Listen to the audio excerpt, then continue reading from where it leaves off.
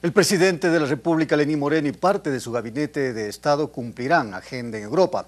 Las actividades se desarrollarán del 9 al 12 de julio en Italia, Francia y Países Bajos.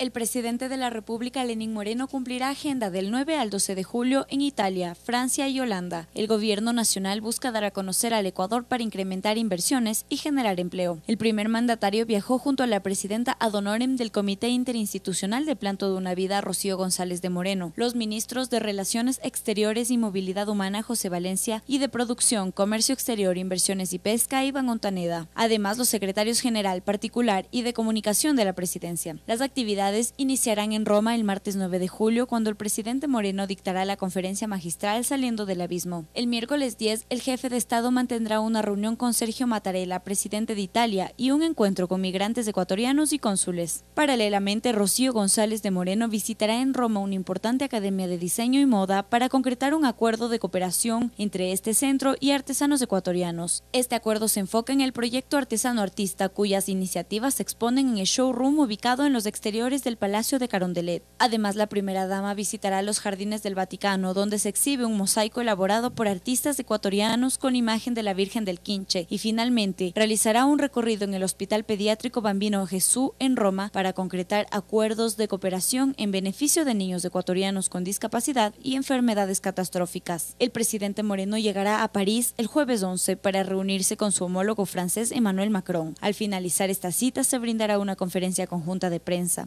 Posteriormente, el presidente de Ecuador se reunirá con Ángel Gurría, secretario general de la Organización para la Cooperación y el Desarrollo Económico. Las actividades en París finalizarán con una segunda conferencia en la que el primer mandatario dará a conocer el cambio que Ecuador ha atravesado en estos dos últimos años. La gira por Europa concluirá el viernes 12 con la reunión entre el presidente Moreno y los reyes de Países Bajos, su majestad Willem Alexander y su majestad Máxima Sorreguieta. En Quito, María Mercedes Granda. Telerama Noticias.